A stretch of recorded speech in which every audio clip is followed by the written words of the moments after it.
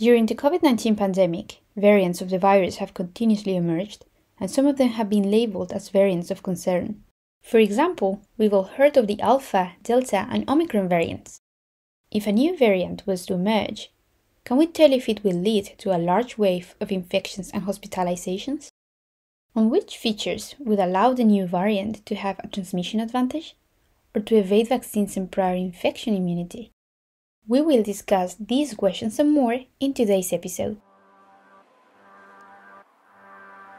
This is SBIDER Presents, a series produced by the SBIDER Podcast Hub. My name is Laura Guzman. And mine is Ed Hill.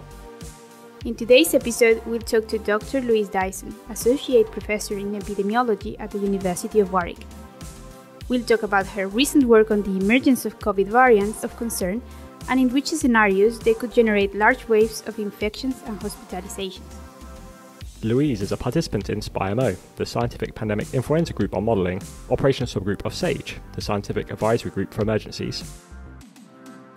SPI-M-O has provided advice based on infectious disease modelling and epidemiology to the UK government in response to the COVID 19 pandemic. Today she will be telling us about the research article possible future ways of SARS CoV 2 infection generated by variants of concern with a range of characteristics. This was published in Nature Communications in September 2021, done in collaboration with colleagues at the University of Manchester, and they're also part of the JUNIPER Consortium, the Joint Universities Pandemic and Epidemiological Research Group. This is a modelling consortium formed in the autumn of 2020 to provide quantitative epidemiological advice in response to the evolving pandemic. Hi, Louise. Thanks for joining us today. Oh, thanks for having me. Would you like to first tell us about the kind of the context when Nish started thinking about this piece of work and what the situation was at the time? Yes, yes. So I guess a bit of background. Uh, we started thinking about these sorts of problems in March 2021. Uh, so we'd just seen the rise of alpha in the UK, sort of Christmas 2020. And that was the first variant that had had an actual major effect on overall cases. It's kind of weird thinking back to that now, um, having had so many more variants since then. But at that time, it was, we were really kind of thinking about will there be another variant that's going to be that impactful again? Or was, was that it? And Alpha had had a kind of higher transmissibility but no major changes to immunity, either through vaccinations or through prior infection. And at that point, uh, we were thinking with uh, about whether the beta variant, which had become dominant in South Africa and had some immune escape compared to the previous alpha variant, um, and we were thinking about whether that was going to be a major issue in the UK or not. And we were also thinking in the kind of context of uh, we had just started these kind of stepwise relaxations, the kind of UK roadmap to relaxations. Um, and so that kind of inspired this paper where we were thinking about the potential for new variants and what they might look like in the data in this kind of context. So, what were the specific aims of this study? Uh, yeah, so we were thinking about sort of three main questions. So, uh, what kind of new variants might be a problem? And what would they look like in the data? So, could we use the data kind of to tell them apart? Um, and how quickly might we need a kind of new targeted vaccine? So, if we had a new vaccine that was targeted against a specific variant, how quickly would we need that to be um, sort of rolled out in order to be worth implementing any kind of border controls? With this kind of the situation at the time, there's a, a multifaceted problem. There's lots of there's different approaches that could be taken to analyze it. So, what was the kind of methodologies that were used, and in terms of like the overall team as well, how did the collaborative team come together for this study? Yeah, that's a really good question. Um, it's become much easier to collaborate between different places that are geographically distinct. I mean, Manchester is not a huge distance from from Warwick, but um, uh, during the pandemic, we've been working with uh, lots of people in lots of different UK institutions. And the kind of umbrella organisation for that has been um, Juniper, which is a kind of the COVID 19 modelling consortium. And that's really kind of brought together lots and lots of different UK institutions, including Warwick and Manchester, which were the, the primary groups for, for this particular paper. And it's made it sort of possible for us to all work together in, in this kind of large group, which has been really nice and really um, exciting. And I hope will continue for, for a long time in the future. So we had multiple groups of people kind of coming together to form this paper. There were sort of three main kind of modeling approaches. First was, well, we call it a simple model. It's really not that simple, but uh, simpler than it could have been. Um, and that was really just thinking about if we had uh, different uh, variants circulating at the same time, how those would interact with each other in the same population. Um, and then we had uh, the more complicated Warwick model, which has been used throughout the pandemic, um, particularly in kind of questions from SPI-M. Um, and the advantage there is that that model can output hospitalizations and deaths, which the simple model couldn't. And it's also age distributed, so you could look at the age distributions in the data. And then the third part, which was um, primarily uh, a group in Manchester developing that model. So that was thinking about new cases coming into the UK from outside. So thinking about this kind of border controls question. And uh, so that was a stochastic model. So we were looking at kind of how quickly a new variant might become established in the UK. And um, what did you find from these models? Yeah, so because we used lots of different models, we found lots of different things, which is uh, always interesting the main initial part that was using this kind of simple model, the advantage there is that you can look at lots and lots of different uh, situations. So we were thinking about variants um, being different along two main axes. So first is transmissibility, uh, and the second is immune escape. Maybe the vaccination or prior infection might give you less protection against future infection. Uh, the situation we were thinking at was quite specific in a way. Because we were kind of doing this relaxation, we were doing these kind of stepwise relaxation of restrictions, and uh, simultaneously we're vaccinating more people. So the relative importance about, of those two effects to control is changing over time. So early on, when the control is more about measures and less about uh, vaccination derived immunity, a kind of more transmissible variant is worse compared to a kind of vaccine escape variant. And later on, uh, it's sort of the two things are reversed. Um, so, in particular, you could have a variant that was less transmissible than the kind of resident variant, but had immune escape, and that can kind of lurk in the background until those sort of final relaxation of measures and then come out. That's sort of what we were thinking about with this kind of beta variant, where you might have something that the immune escape is really important. So that's sort of the, the first finding. And then the more complex full Warwick model shows us, uh, of course, that the outcome of these waves of infections will depend a bit on the effect of vaccination on hospitalizations. So if you still have lots of immunity against hospitalization, then you you know, a wave of infection is still important, but it's less uh, impactful than if you also have uh, less uh, protection against hospitalization. And that model is also interesting because we were vaccinating people in this kind of age structured way. Uh, you can see in the, the simulated data that immune escape variants end up with this kind of different age distribution of cases than variants that only have effect on transmissibility. So that gives us a potential way that we can see in the data uh, if a variant has immune escape or not. And then finally, uh, using this kind of stochastic models of, of importations in, into the country, we can see that the timings are really kind of finely balanced. So uh, whether it's worth imposing border controls really depends on whether you can make and distribute a newly targeted vaccine before the wave happens. So in practice, it's probably only really worth employing border controls if you have some kind of specific goal in mind, because it's just slowing things down. So unless you're really going to completely close your borders, there's only really a point to having some kind of border controls if you have a plan for what you're going to do with that extra time.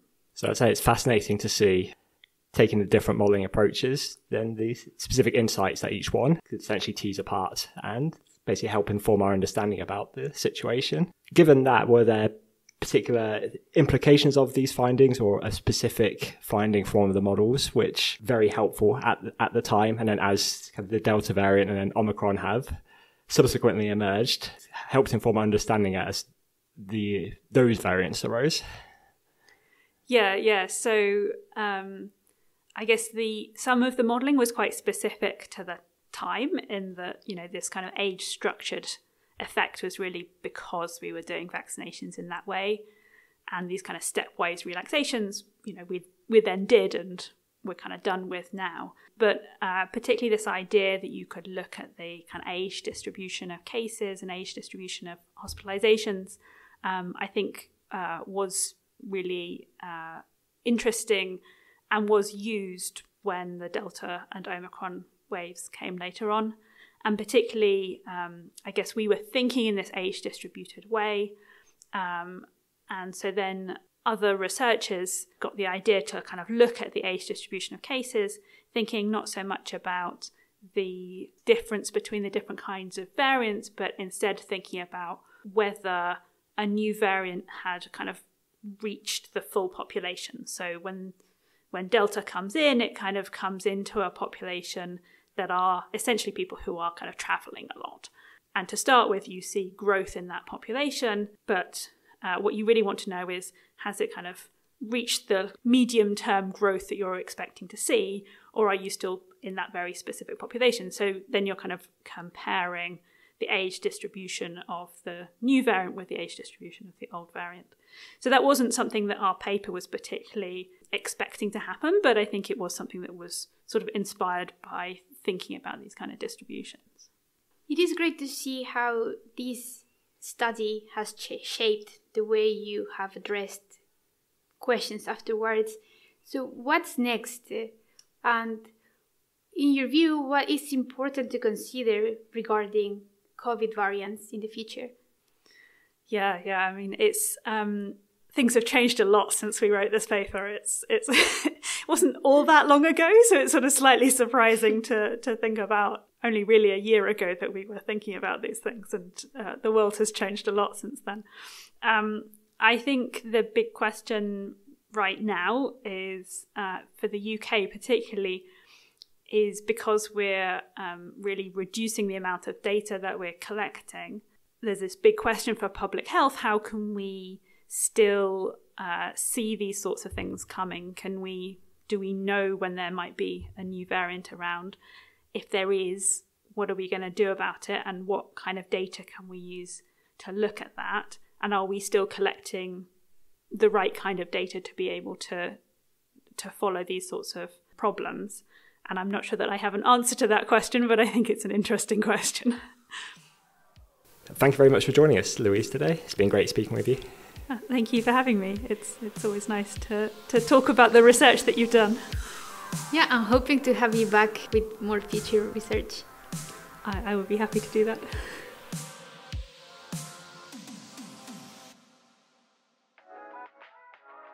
This is our news section, where in each episode we will give updates on events happening in the research group. In today's episode, we're going to talk about RAMP, short for Rapid Assistance in Modelling the Pandemic Initiative, RAMP are hosting a conference on the Monday of 30th of June titled Modelling the COVID 19 Pandemic Achievements and Lessons. And this is an event several members of SBIDER will be attending. We are here with our colleagues from SBIDER, Robin Thompson. He's an assistant professor at the University of Warwick and he's a member of RAMP. Thanks for joining us today, Robin. Hi there, Lara. Hi, Ed. Good to be here. Thanks for the invitation. Thanks for coming. Cheers for joining us. To begin, uh, so what is RAMP? Uh, that's a good question. Good place to start. Um, so, RAMP is the Rapid Assistance in Modelling the Pandemic initiative. Um, and it's a team of mathematical scientists led by Professor Mike Cates from the University of Cambridge that was brought together by the Royal Society in 2020 in order to support the UK's COVID 19 modelling response. And RAMP is funded by UKRI. And what initiatives has RAMP carried out? So RAMP's done a number of different things during the pandemic, but I think it's supported the UK's COVID 19 modelling response in two kind of main ways. The first way um, that we've done that is through assessing the COVID 19 modelling literature, and I'll come back to that in a second. And then the second way is through the development of our own models and modelling insights that are useful for guiding public health policy. So, in terms of assessing the modelling literature, I was involved in, in that through setting up the RAMP Rapid Review Group along with Professors Philip Maini and Alan Goriely from Oxford. And the idea of the Rapid Review Group is that UK government departments and also uh, UK government advisory groups would get in touch with us when they saw a mathematical modelling analysis that they thought might be useful for policy. And so they send it across to us. And what we would do is we would review that modelling analysis um, to assess its sort of relevance for policy and to assess its quality. And obviously, in a public health emergency, you have to do that very, very quickly. And so we had a team of expert reviewers that would return reviews to us within only sort of 24 to 48 hours so that it could then feed into policy making. So that, that's one of the kind of main ways that we've been looking to support the UK's COVID 19 response. The other way is through the development of models and, and generation of modelling info, insights that are useful for policy. And we've done that not so much through sort of standard epidemiological modelling, but, but kind of looking more broadly at research areas like environmental and aerosol transmission, like urban analytics, and like uh, transmission in, in small spaces. So that's a few of the areas that, that we've been looking at. And then in addition, um, we've had a number of other initiatives, um, one of which, of course, was the, the RAMP Outreach Innovation Awards. Um, so I think we awarded something like 10 uh, sort of small grants um, for projects around the country, one of which, of course, was this podcast. So yeah, great to see that coming to fruition. And yeah, very appreciative of the support offered. And so, kind of under the RAMP umbrella, the RAMP initiatives, is there any particular research that you've been able to conduct we've done a few different things. One project that I'm working on at the moment through RAMP that I'm really excited about is that RAMP is funding a postdoc, uh, Will Hart, who is working with me on estimating the COVID 19 generation time. So, specifically, the generation time is the time between successive transmissions uh, in a transmission chain. So, as an example, if I were to infect you, which hopefully I won't, but if I was going to infect you, um, then the generation time is the time between me getting infected and then me then infecting you. So it tells you about the speed of transmission of, a virus or of a pathogen. And so what Will has been doing is he's been um, using data provided by the UK Health Security Agency describing transmission in households in the UK. And he's been using that data to then estimate the, what, what the generation time is for COVID 19. He's been looking at how the generation time has changed throughout the pandemic and then looking to attribute those changes to different factors. So, for example, looking at how the generation time changed when different variants of SARS-CoV-2 came along. So yeah, so that's one project that, that's ongoing, funded by RAMP, that I'm really excited about at the moment. Is there a place we can find all this research? Yeah, so well, talking specifically about about that research project, um, it's been published in a couple of different um, publications. So one of them was published in eLife last year, and that was looking at how the generation time changed in 2020. And then subsequently, there was a, a paper um, published in the Lancet Infectious Diseases looking at measuring the generation time for the uh, alpha and delta variants, and so comparing the generation time for those two different SARS CoV 2 variants. Um, so the first author on, on those is my uh, student, now postdoc, William Hart. So I think looking at the two papers by, by him about the SARS CoV 2 generation time is probably the place to look for that specific work. And I guess, I guess similarly for other ramp funded research. I guess uh, looking for ramp members and, and, looking at publications that they've written would be probably the way to find out more about some of ramp's research. Thanks, that's really good. And there is an event on Monday, the 13th of June. What is this event about? Yeah, so, th- so that's coming up quite soon. So that's um, being held at the Royal Society in London. Um, and it's a workshop called uh, Modelling the COVID 19 Pandemic Achievements and Lessons. And so this workshop is split into two different sections. So the first one is a sort of daytime section. So that's from I think 9:30 in the morning until about 7 p.m. And that daytime session is aimed at scientists And the goal of that is that there'll be sort of scientific talks by early career researchers. I think there's going to be a panel discussion with various sort of eminent scientists about lessons learned from the COVID 19 pandemic. So that's during the day. And then in the evening, it's going to switch into some sort of public facing talks. I think the plan at the moment is to have three public lectures about COVID-19 modelling. I think that's between 7:30 p.m. and 9:30 p.m. And so I'd urge anyone listening to definitely come along to that that second part. And if you're a scientist, then also come along to the daytime session too. But the one thing to bear in mind is that rather than just turning up, you have to register in advance. So I would suggest that you Google, uh, you know, the Royal Society Ramp 13th of June event, and it should be, I would hope, the top hit. Um, and then you just register on the website before before showing up. But yeah, so so in the daytime there's a scientific kind of session, and then in the evening there's a sort of public facing set of talks. We're one of the participants in that public facing session, later on being our own group member Louise Dyson, who we heard from earlier in this episode. Very good, yeah, exactly. Yeah. Very pleased that you could join us today, Robin. Thanks very much. Thanks for the invitation. Yeah, it was great to chat to you both. Thank you. Thanks to you all for listening to this episode of SBIDER Presents.